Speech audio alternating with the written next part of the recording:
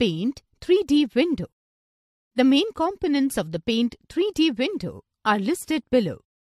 Options tool, title bar, menu bar, brushes tool, 3D shapes, zoom slider, names toggle tool, brush options, canvas, color palette, title bar.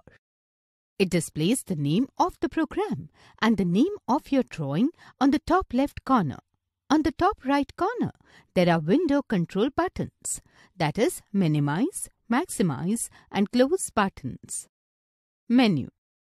It displays options such as New, Open, Insert, Save and Save As. Canvas. It is the area where you can create or draw shapes or you can say it is the drawing area of Paint 3D. Brushes tool. It opens a panel on the right side of the drawing area and displays brush options and color palette. Brushes option. It displays 10 brush options in the panel on the right side. It also displays two sliders for the thickness and opacity. You can adjust the thickness and opacity of the type of brush you are using either by entering a value in the value box provided next to their name or by using the slider found beneath the option. Color palette. It displays the color options available with an option to add more color and effects like matte, gloss, etc. 2D shapes.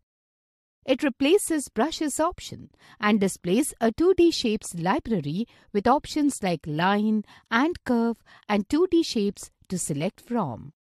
3D shapes tool. It replaces the brushes option and displays options like open 3D library, 3D doodle, 3D objects and 3D models to select from.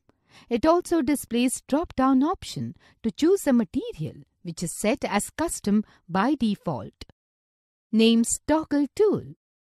It is on the right side of the toolbar. This tool has an option for hiding or showing the tool names. Options tool. It displays options such as Select, Crop, Magic Select, 3D View, Mixed Reality and Zoom Slider.